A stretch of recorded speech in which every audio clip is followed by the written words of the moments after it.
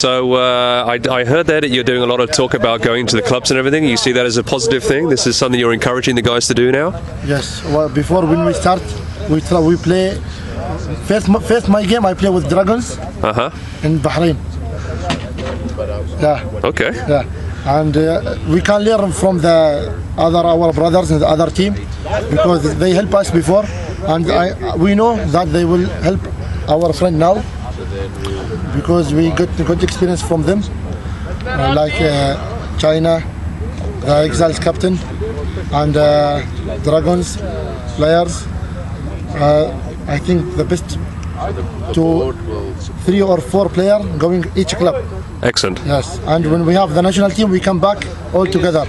That we can learn because there is other national team, the other team we can learn from here, little bit from here, little. Good, good. And we will be good. Little bit of Welsh, little bit of Fijian, little bit of so and so. Yeah, that'll be fun. So, yeah. So, how do you find uh, the progress of the of the national side coming along? Yeah, we, they, they are improving so much since we started. Like I mentioned, since like uh, five years ago when he started, we were like more than six boys. That's it. And yeah. Since that time until now, so it was massive improvement. So we got like 50 boys every time.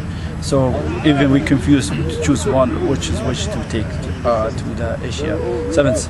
So yeah, it's positive now. So we hopefully the the guys improve for the clubs now. So they are joining to each each five or three players going to the each club. So that's very good thing.